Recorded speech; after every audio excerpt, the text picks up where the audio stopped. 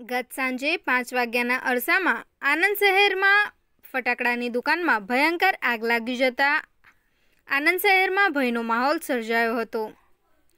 જોત જોતામાં આગ વિકરાળ સ્વરૂપ ધારણ કરતા આજુબાજુના લોકોનો જીવ પડીકે બંધાઈ ગયો હતો. આગ એટલી ભયંકર હતી કે આગને કાબૂમાં લેવા આનંદથી ચાર વડોદરાથી ત્રણ, નંદીશ્રીથી એક, ઓએનજીસીથી એક વિદ્યાનગરથી બે, બોરસદથી બે, ખંભાતથી એક, પેટલાદથી એક અને નડિયાદથી બે મળી કુલ અઢાર ફાયર બ્રિગેડના ફાયર ફાઇટર આવી પહોંચી.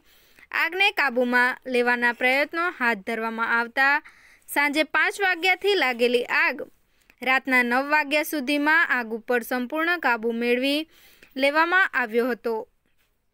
જો કે સદનસીબે કોઈ જાનહાનિ થઈ નથી. પરંતુ આગ હોનારતથી લાખો રૂપિયાનું નુકસાન થયું છે.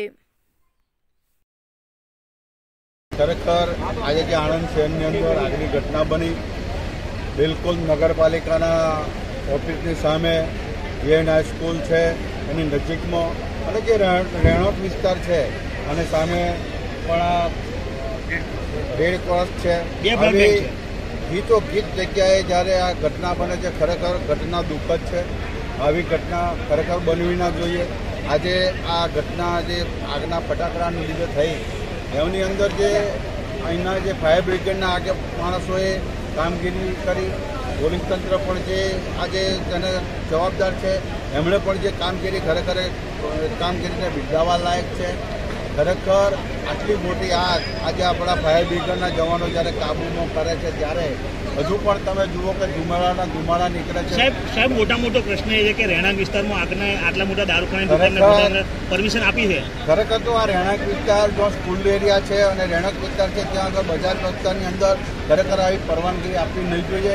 પણ કયા કારણોસર કોણે પરવાનગી આપી એ તપાસનો વિષય છે. સાહેબ સાહેબ કયા પ્રકારના પગલાં ભરવા જોઈએ આવા લોકો સામે? જવાબદાર વ્યક્તિ સામે જે અધિકારીઓએ પણ ગમે તે રીતે પરવાનગી આપી હોય અને લોકોના જાનના જોખમે જ્યારે આ પરિસ્થિતિમાં આપી હોય તો એના માટેના કાયદેસરના જે કસૂરવાર હોય એની સામે પગલાં લેવા હોય.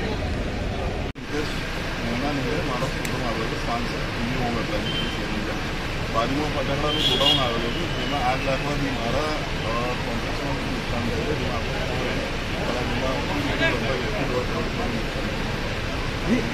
કેટલા વાગે લાગી હતી? ચાર સવા ચાર થયા અંદાજિત જે આગ લાગી હતી ત્યારબાદ આપને કેવી રીતના માલુમ પડ્યું ને કેવી રીતના આપણે સ્ટાફને બચાવવા માટે પ્રયત્ન કર્યો માલ બચાવવાનો કોઈ પ્રયાસ કર્યો? બધાને બહાર કાઢી દીધા માલનું દાણાની પ્રશ્ન થાય એના કરતાં માલનું નુકસાન વધારે નથી લાગતું મને માલને છોડીને અમે માણસોને બધાને બહાર કાઢી દીધા ત્યારબાદ આગ પર કાબુ મેળવવામાં કેટલા સમય લાગ્યો અને કેટલું નુકસાન આગમાં તો બાજુમાં તો નવું બધું નુકસાન લગભગ.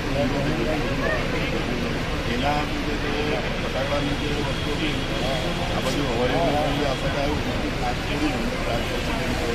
પ્રમાણે આપની દુકાનની બાજુમાં જાહેર માર્ગ છે ત્યાં આગળ આ પ્રમાણની દારૂખાનાની ગોડાઉન બનાવવાની પરમિશન તંત્ર દ્વારા આપવામાં આવી છે?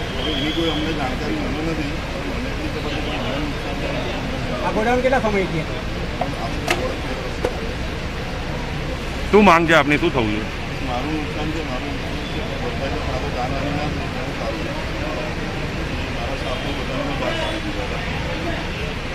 दर्शक मित्रों, अभी तक आपने पिठोरा समाचार यूट्यूब चैनल सब्सक्राइब नहीं की है तो कृपया सब्सक्राइब करें ताकि देश व दुनिया की हर खबर आपको मिलती रहे। धन्यवाद।